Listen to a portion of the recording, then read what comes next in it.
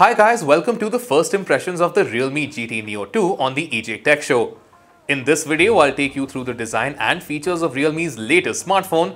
But before we begin, do like this video and subscribe to our channel to not miss out on the latest in tech.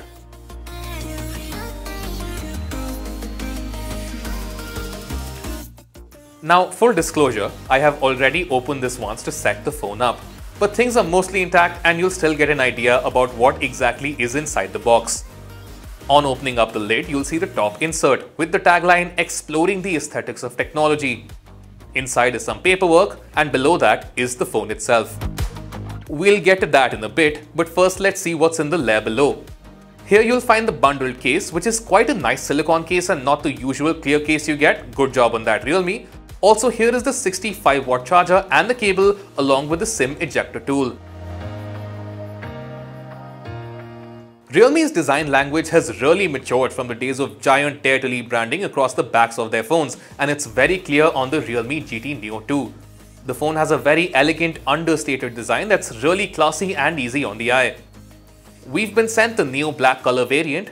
Its rear panel gets a matte finish which looks really nice when it reflects light. There's a small Realme logo on the bottom corner, but no other branding as such. The camera bump on the other hand has this mirror-like finish which works really well in contrast to the back. I do like the camera layout with the two big lenses flanked by the small lens and the flash on top.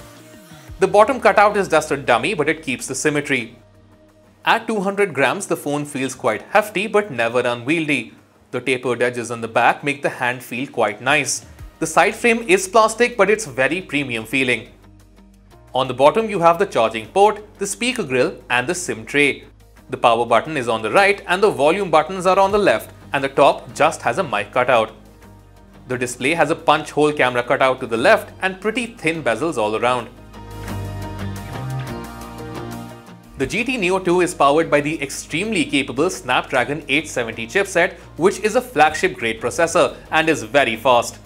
In my initial impressions, the phone is lightning fast with general usage, gaming and camera operations. Realme also really emphasizes the stainless steel vapor cooling plus system on this phone. They claim this can lead to up to 18 degrees Celsius reduction in CPU temperature and up to 20% higher efficiency. Ideally, this should lead to more stable performance over extended periods of time and prevent things like frame rate drops after extended gaming.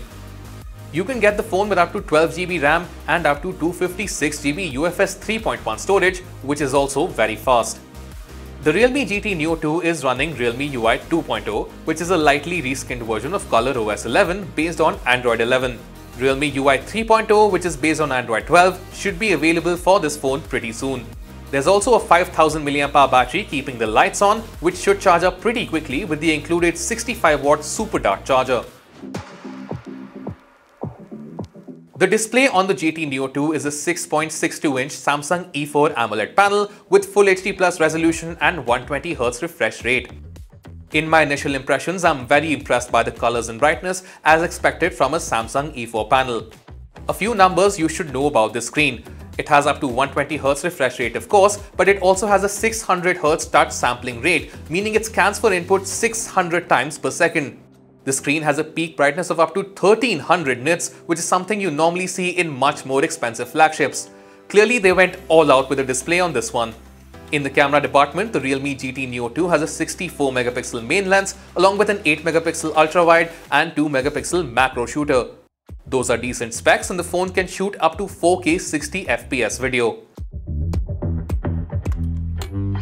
The Realme GT Neo 2 is a very promising package.